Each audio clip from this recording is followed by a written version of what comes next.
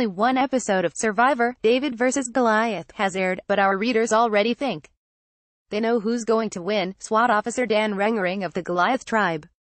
This Gainesville, FL resident, who told his story in the season 37 premiere of Losing Weight and becoming an overnight heartthrob, has leading 11 8 odds to run away with the 1 million check. Do you agree with our readers' early predictions? Make your own picks right. Now, no doubt one of the reasons Dan tops our winners chart has to do with the hidden immunity idol he found along with Kara Kay and Natalia Azoqa. Following, Mike White's lead, the entire Goliath tribe went searching for the idol and Dan ended up finding it wrapped in a purple string on top of a rock. He chose to tell Kara and Natalia, so together this threesome now shares a secret that could benefit them later in the game.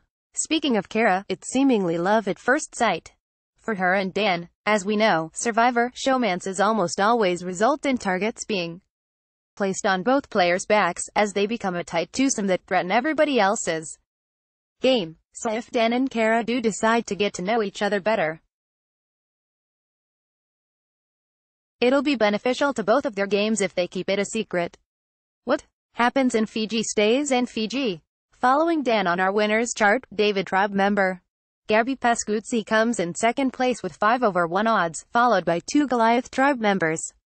Jeremy Crawford in third place at 10 over 1 odds, and Alison Raybould in fourth place at 14 over 1 odds. See more, Survivor, odds and rankings.